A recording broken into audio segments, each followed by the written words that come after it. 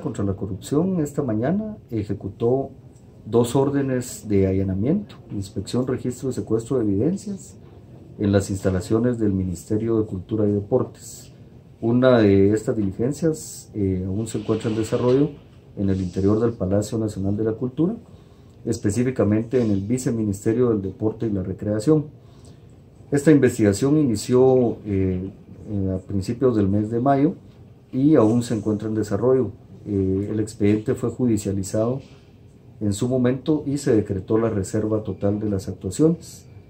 El objetivo de la diligencia es la ubicación de documentación que pueda venir a coadyuvar al proceso investigativo y eh, de localizarse información o documentación de relevancia, la misma será secuestrada para fines de análisis y poder eh, resolver en su momento con objetividad lo que corresponda dentro de este caso.